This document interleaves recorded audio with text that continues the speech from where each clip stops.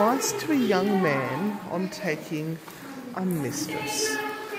Benjamin Franklin was essentially a practical man, so when a young man of his acquaintance confided in him that he was seeking a mistress, Franklin wrote him a few lines of advice while urging that matrimony was undoubtedly the ideal state. Franklin suggested that if his friend must take a mistress, he should avoid young virgins and seek a discreet and older woman.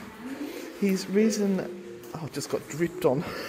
His reasoning led him to state that, as in the dark all cats are grey, the pleasure of corporal enjoyment, oh my god, thanks for that, whoever did that. The pleasure of corporal enjoyment with an older woman is at least equal and frequently superior, and they are so grateful for the attention.